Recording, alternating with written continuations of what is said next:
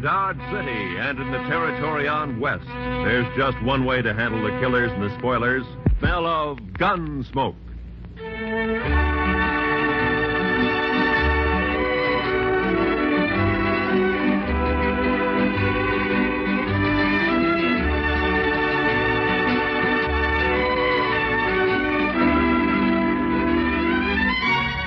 Gunsmoke, starring William Conrad.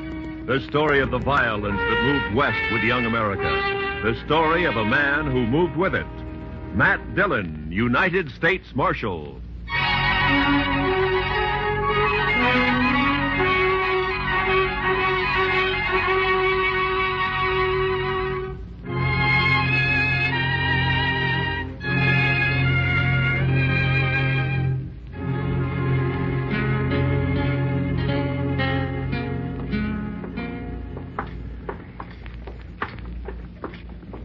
It's a cold morning, Mr. Dillon. Yeah.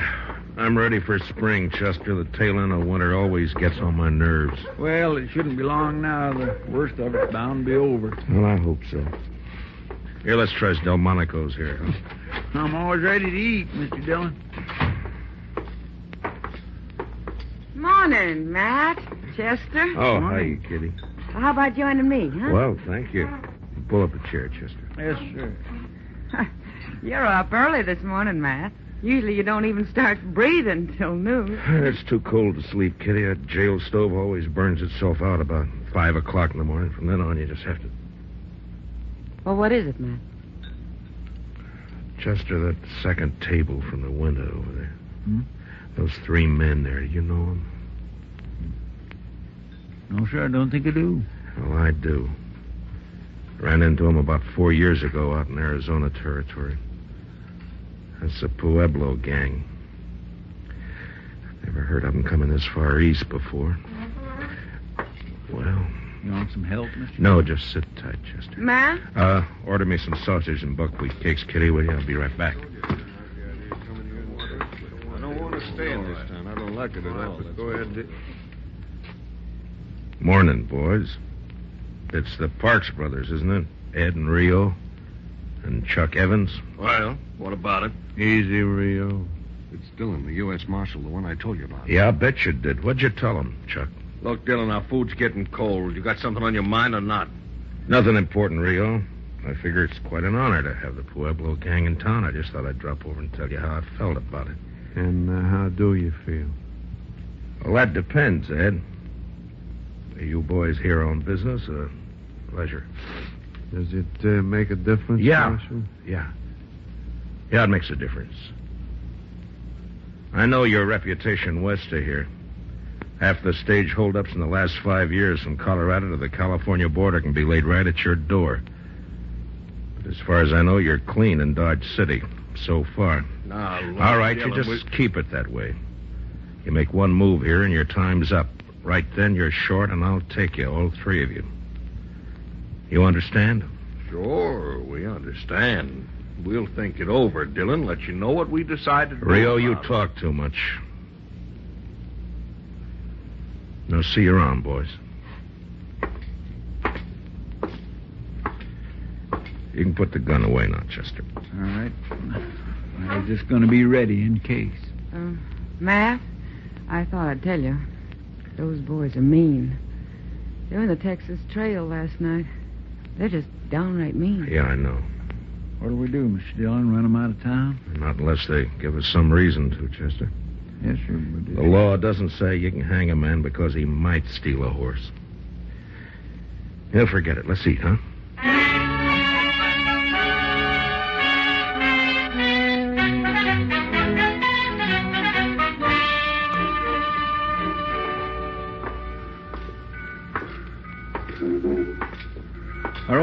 Just about ready to pull out, looks like. Yeah, it's on time. It's three o'clock. Be in St. Louis tomorrow night, Chicago the next day. If the engine holds up. Oh, they don't break down so much anymore. They're getting them worked out so they're pretty dependable. Yeah, I guess so. You ever get a hankering to take a trip back east, Mr. Dillon, just to see how things has changed? Uh, not me, Chester. I've been on the frontier too long. I'd be lost back there.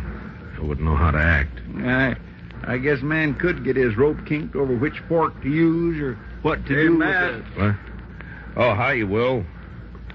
You down watching your competition pull out? There'll be a stagecoach running for a long time to come yet. Railroad's not bothering me any. Oh, I'm glad to hear that. Something else is, though. No? Matt, the stage from Buckeye is more than two hours overdue. I'm getting a little worried. Why? It's usually late, isn't it? Not on this particular day of the month.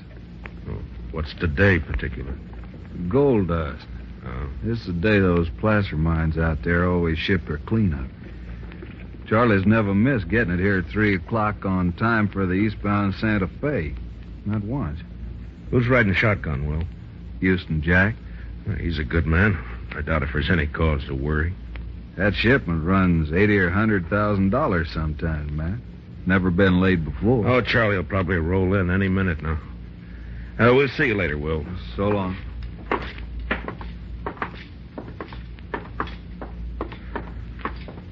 What do you think, Mr. Dillon? Same as you do, Chester.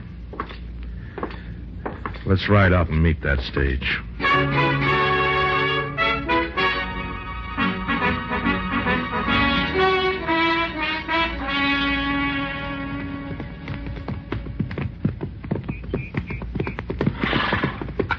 Still think I heard a horse went in, Mr. Dillon. Yeah, I thought I heard it too. We must be an hour and a half from town the way the stage runs. He sure is late, all right. I hope late is all it is, Chester. I hope it's not. There. There there it is again, Mr. Dillon. Yeah, it came from that draw over there, somewhere on that sumac thicket. Come on. Come on.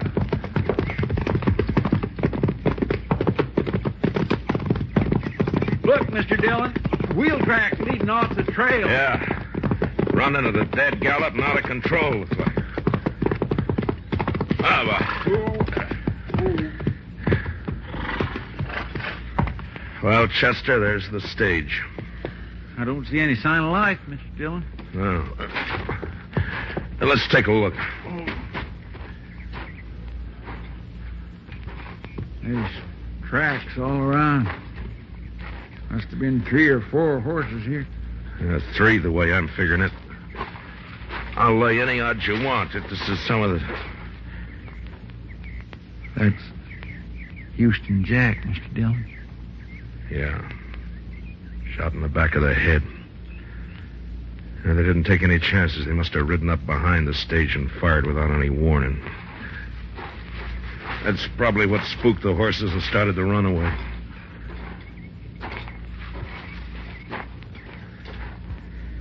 Yeah, they shot the lead horse. It's an old trick. Charlie's still up here on the box. They got him, too. That strong box has been forced open. It's empty. all right, Chester, let's cut these horses loose and get them out of the traces, huh? Right. Come on now, boy. It. Ah, it's the same way they used to work it out west. Shoot the guard in the back and let the team run until they're far enough off the trail and then kill the lead horse to stop them. You mean that Pueblo gang? Yeah, who else? Oh. That's a good thing there weren't any passengers. They'd have got the same treatment. All right, there you go, boy. Ah. I think there were some passengers, Mr. Dillon. One, at least. What? There's a couple of trunks tied on top and a carpet bag of some kind inside the stage. Here, let's have a look.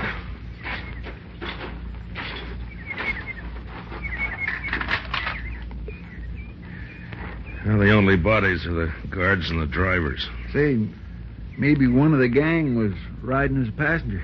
They wouldn't leave trunks behind it. What is it? There's stuff in the carpet bag. Belongs to a woman. There's no woman here? Yeah, I know. Well, then they must have taken her. Yeah. It's almost dark. Come on, Chester, let's try to pick up their trail.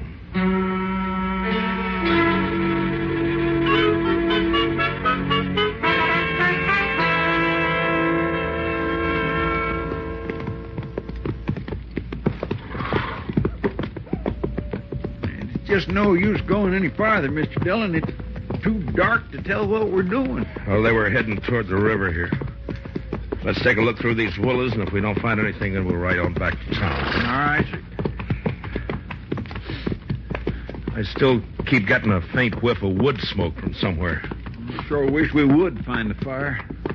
Getting colder in the. Heat. Wait a minute. Uh, look over there. Well, I'll swear. It's fire, all right. Or what's left of one, Mr. Dillon. Uh, you suppose they're still I don't there? know. Let's leave the horses here and go up on foot, huh? All right, sir. Well, there's nothing moving. No signs of life. They couldn't have left too long ago. That fire would have burned itself out. Well,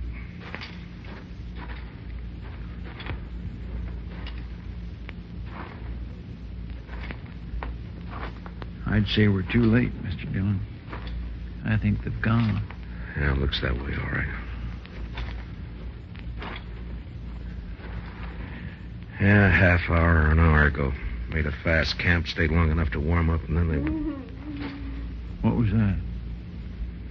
I don't know. They're over here, Chester. There's somebody lying on the ground. Help me. Help me, please. Here. Throw some brush on the fire, Chester. Yes, sir. No, it's all right, miss. It, it's all right now. Three of them. Robbed the stage. Killed the driver and the guard. Brought me with them. Anything I can do, Mr. Dillon? No, Chester, I'm afraid not. For the love of it.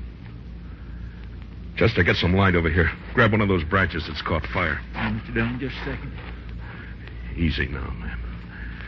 Just easy now. It's going to be all right. I pleaded with them. Begged them to, to let me go. Here.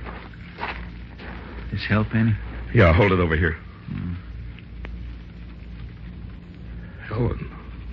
But they wouldn't. They wouldn't let me go. Helen Ford. And when they left, they drew their guns and shot me. Easy now. They shot me. You know who they were? Helen? Helen, can you hear me? One. One named Rio. One called Chuck. They sat on their horses. Shot me. Then they laughed. She's in awful bad shape, Mr. Dillon. We ought to get her to doc. Shot me. And laughed. But it didn't matter. Not that. Not.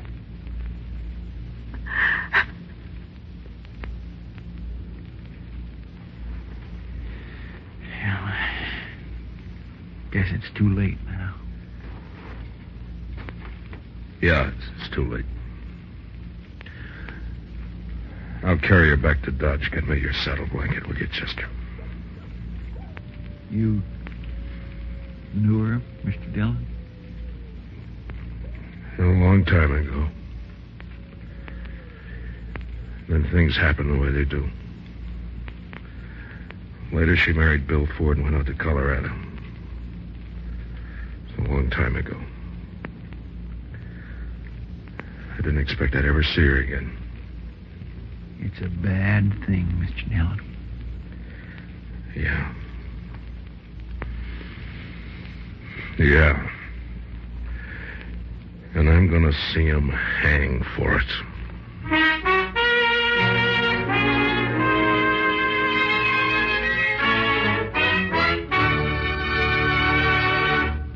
We will return. We will return for the second act of Gunsmoke in just a moment. But first, everybody's got a heart. That's a plenty solid reason for everybody to support with generous contributions the annual fund drive of the Heart Campaign. Don't forget, what your money pays for is aimed at making the sick well and keeping the well from getting sick. Support the Heart Campaign again this year. Now for the second act of Gunsmoke.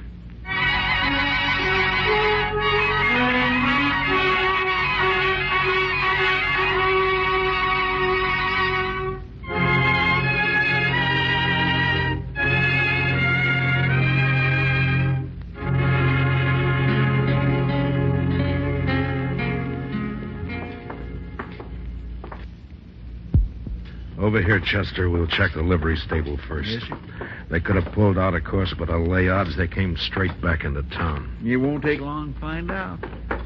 Now, let's go in. Who's there?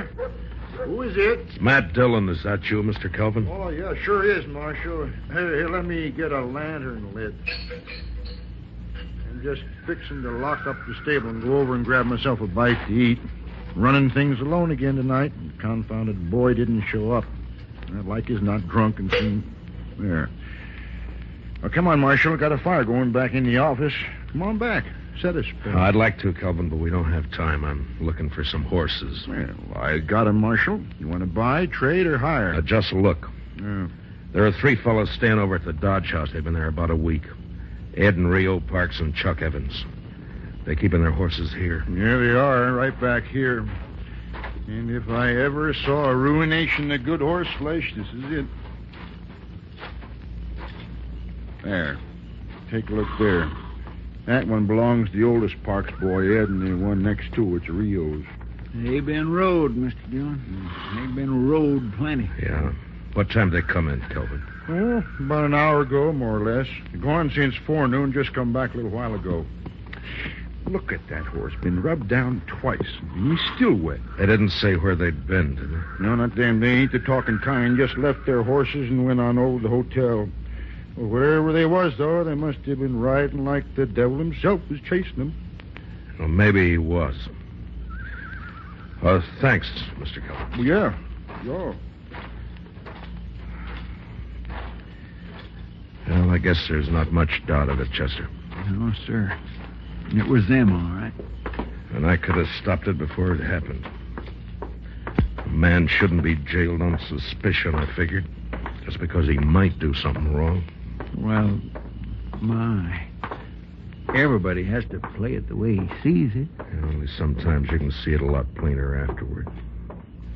What are we going to do? Go get him, that's all.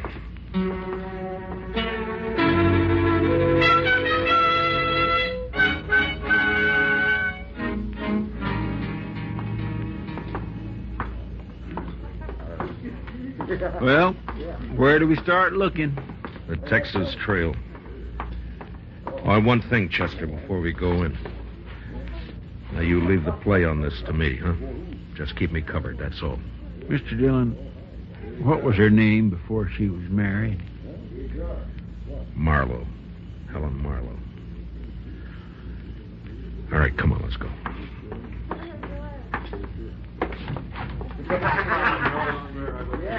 Well, it was a real dull evening up until now. How are you, Matt? Chester? Hi, Miss Kitty. Kitty. Uh, I'm looking for the Pueblo gang. Have any of them been in here? Why, yeah. One of them's here now. Rio Parks. He's over there at the faro table. No? Well, what's wrong, Matt? What happened? Now, they held up the Buckeye stage. Killed Charlie and Houston Jack. And a passenger. A woman. Helen Ford. Ah. All right, Chester. Oh, be careful, Matt. Yeah, sure, Kitty. Just cover me, Chester. That's all. Yes, sir. 500 says I've got the card. That's too much for me. Are you going to cover me or not? What's the matter? You all a bunch of pikers? Maybe they haven't been out robbing stagecoaches, Rio. What do you mean by that? Maybe they don't make their living by killing women. Dillon, a man could get in trouble shooting off his mouth that way. You're already in trouble. All right, boys. Rio's checking in his hand. The game's over. You can slide out at the end of the table over there. You're under arrest for murder, Rio. Don't know what you're talking about, Dillon. Murder. A murder that you're going to hang for. Now, where are the other two? Go find them if you want them. I'm going to as soon as I finish with you. I said you're under arrest, Rio, and I get your hands up. Supposing I don't? You're not going to make any play. You don't have the guts. Shooting a man in the back is more your line, Rio. You're killing a woman. Now get your hands up. That's better. All right, Chester, get his gun.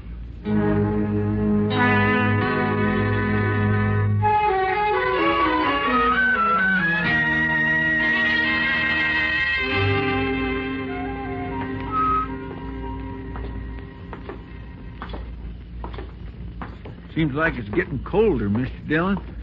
Clear as a bell, Will. Look at that moon. Where do you suppose they are?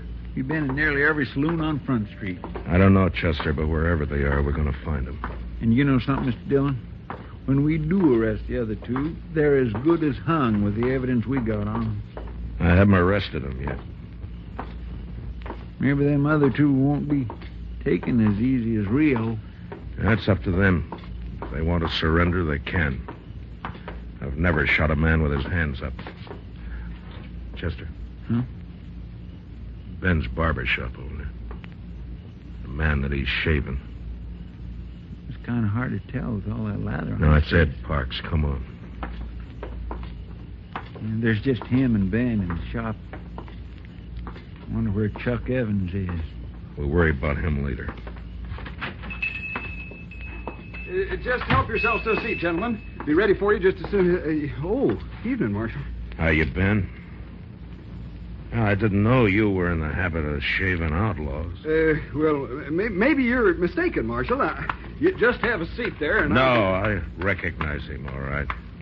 It's Ed Parks. Uh, well, Looks like you got the advantage of me, Dillon. No, we can't have that, Ed. Wipe the lather off his face, Ben. yes, sir. Sure thing, Marshal. Uh, j- just a second now, Mr. Parks. Uh, There. There you are. It's too bad you have to leave that shave half finished, Ed. But they'll give you a free one just before they hang you. What are you talking about, Dillon? Uh, now, now, gentlemen. Ed, you're under arrest for murder. Get your hands up. Your brother's waiting for you at the jail. You arrested Rio? What about the hands, Ed? Are you going to put 'em up? No, dirty kid, Huh? That was a fast move for a barber, Ben. I, I knew he had a gun under the towel, Marshal, but of course I couldn't say anything about it. Well, thank you, Ben. And if you'll send the bill for your shaving mug to the stage company, they'll probably take care of it for you. Yes, sir, Mr. Dillon. Chester, spill some water on him. I want him to walk to jail.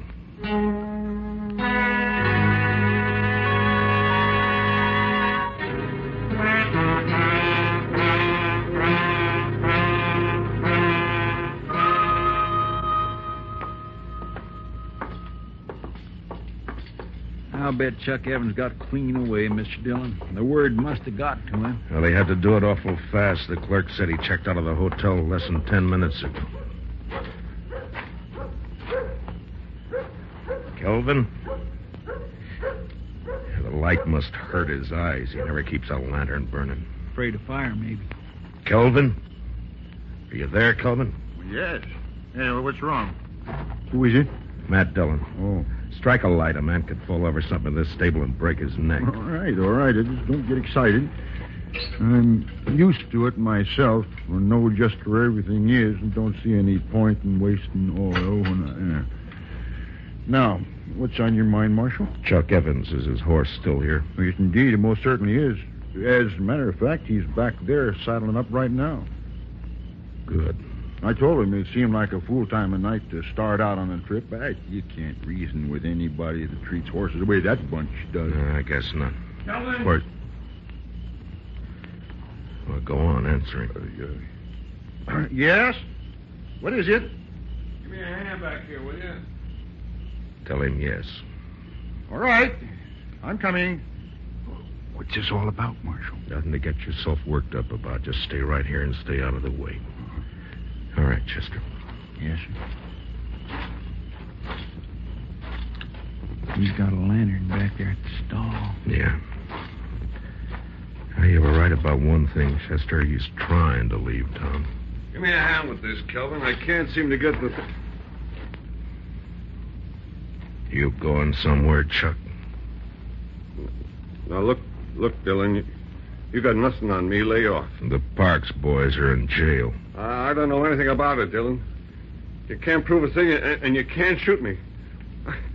I'm not even wearing a gun. It, it, it's hanging there on the saddle horn. Yeah.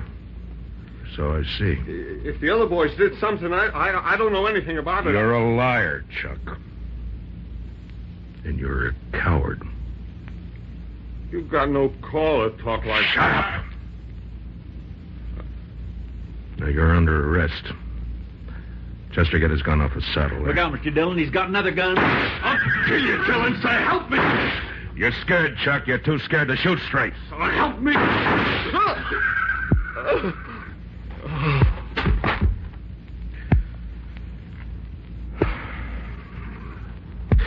Come on. What, what, what is it, Marshal? What, what happened? Evans is dead. The Parks boys are gonna hang. You're short three customers, Kelvin. Oh, well, who's going to pay the stable bill? The stable bill? Yeah. Oh, you got their horses. Sell them. Oh, yeah, I never thought of that. Well, it serves them right. Anybody that would treat a horse the way that bunch did, Davy.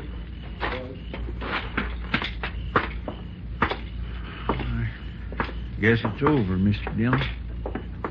Yeah, it's over, Chester. And it's just as well. This country'd be a lot better off with them fellas dead than alive. I guess so. Even the moon looks brighter. Yeah. Mr. Dillon, you're still thinking you should have jailed him on suspicion, aren't you? No, I'd have half a Dodge in jail if I started that. No, Chester, it's the kind of a chance a lawman has to take, Yes, sir. whether he likes it or not. Yes, sir. But I'm not liking it much right now. In the morning, I'm going to have a talk with the preacher about holding a service for Helen. It's about all I can do for her now.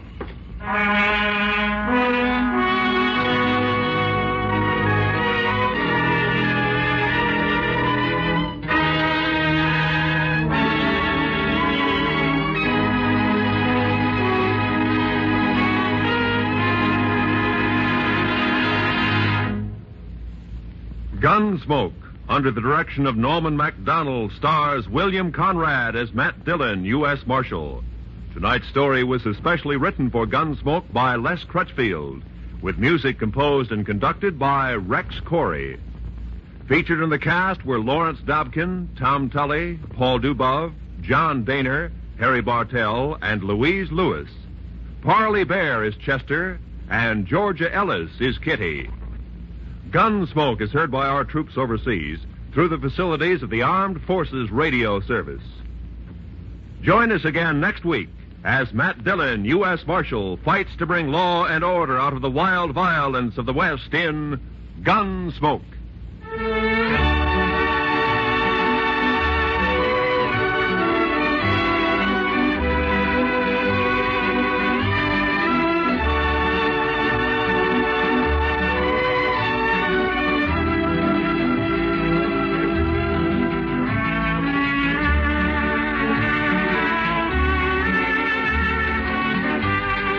Godfrey. Yes, starting tomorrow on most of these same CBS radio stations, there will be more Arthur Godfrey and his gang, presented by CBS Radio for our Sunday listeners. Folks who are regular Arthur Godfrey fans know there's been a 30 minute roundup of Arthur Godfrey time Sundays at the Star's address. But starting tomorrow, there'll be 30 minutes more with Arthur Godfrey and all the wonderful Arthur Godfrey gang. This is Roy Rowan speaking. And remember, Lionel Barrymore is your host on the Sunday Night Playhouse. on the CBS Radio Network.